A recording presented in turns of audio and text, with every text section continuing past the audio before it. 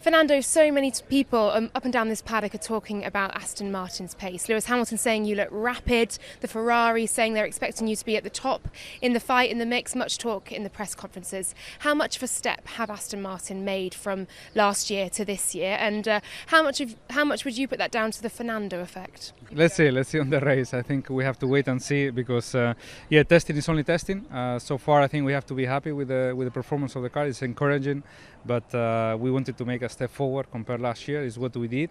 Uh, have a good baseline, a good plat- platform to work on on the car. But this is just day one. I think this this is a good start. But uh, let's see where we are. You have Lance Stroll back as a teammate as well. What are the expectations and hopes for this race? Yeah, I'm happy that Lance is, is here. Obviously, we missed him uh, at the test, and uh, he will give uh, extra feedback on, on the car. Um, and, and let's see. I think uh, the target for the race is to, to keep learning about the car. Um, and tomorrow, yeah, with Lance in the car, hopefully get some or has a little bit more feedback on, on what is the difference between the 22 and 23.